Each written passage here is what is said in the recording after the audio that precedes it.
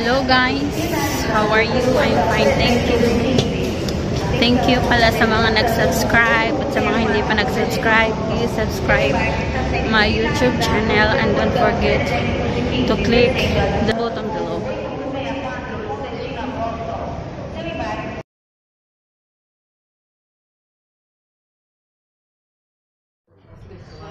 Okay, for our tea, I choose this jasmine green tea and chamomilla.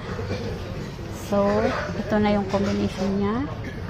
Lagyan ko siya ng lemon. Lemon. Then, lagyan ng hot water. Shit. Oops. Hot water.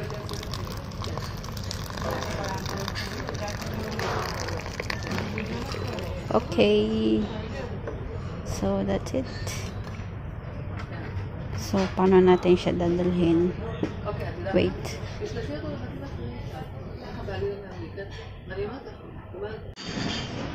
So, part ng diet is after kumain, mag-shop. Siya with lemon. Siya with lemon.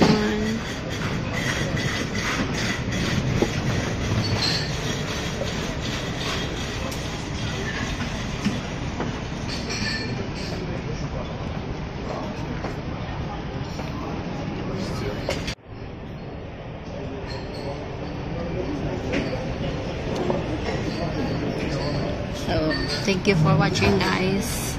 See you in my next video. Bye.